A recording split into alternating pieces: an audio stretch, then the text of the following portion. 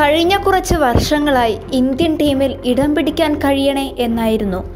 സഞ്ജു സാംസണിന്റെയും അദ്ദേഹത്തിന്റെ ആരാധകരുടെയും ആഗ്രഹവും പ്രാർത്ഥനയും.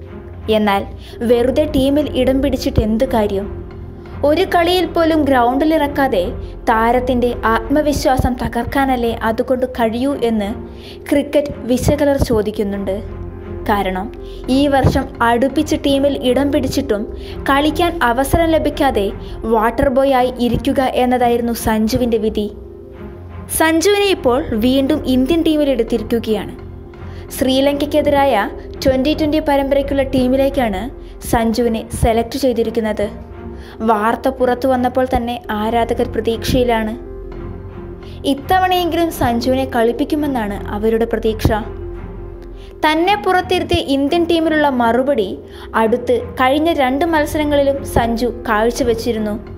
രഞ്ജി ട്രോഫിയിൽ കഴിഞ്ഞ ആഴ്ച സെഞ്ചുറി അടിച്ചായിരുന്നു സഞ്ജു തന്റെ വിഷമങ്ങളും അവഗണനയും തീർത്തത്. ഇത്തവണ ഗുജറാത്തിനോട് കേരളം തോറ്റെങ്കിലും എൺപത്തിരണ്ട് പന്തിൽ എഴുപത്തിയെട്ട് റൺസ് എടുത്ത് അവിടെയും സഞ്ജു തന്റെ കലിപ്പ് തീർത്തു.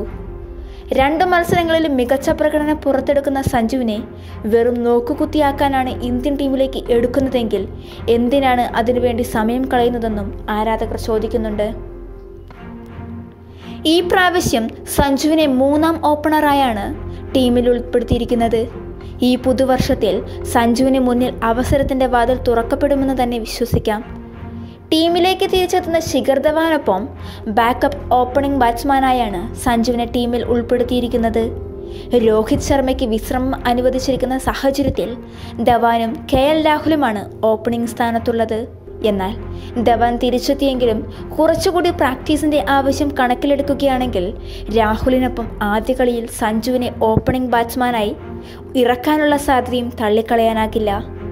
ജനുവരി അഞ്ചിന് ഇക്കാര്യത്തിൽ അന്തിമ തീരുമാനമുണ്ടാകും.